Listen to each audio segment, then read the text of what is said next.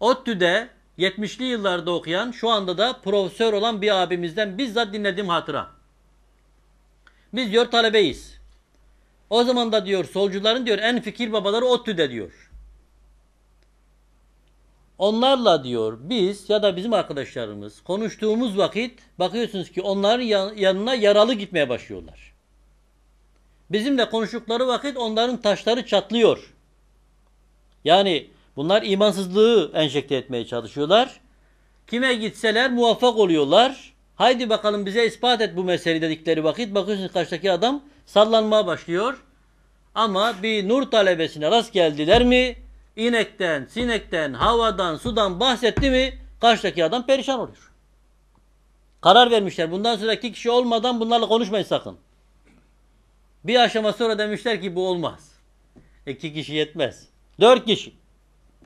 Daha sonra demişler ki şu kadar kişi sonra demişler ki inekten, sinekten, havadan, sudan bahseden yanında sakın durmayınız. Çünkü durulmaz. Adam bana şunu ispat edin dediği vakit karşıdaki insan susar. Bir iğne ustasız olur mu? Arkadaşlar, bir iğne ustasız olmuyorsa ben ya da herhangi bir insan ya da şu kainat ustasız olmaz ya. Bir harf katipsiz olur mu? Karşıdaki adam vuruluyor ya. Ne biçim cümle bu? Bakın ilkokula gitmeyen bir çocuğun kurabileceği basit cümleler değil mi? Bir harf katipsiz olmaz.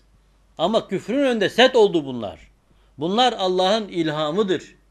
Ve bakıyorsunuz daha sonra o herkese meydan okuyacağını zanneden o solcular, o ateistler, o komünistler diyelim bu meseleler karşısında gerilemeye başladı. Elhamdülillah.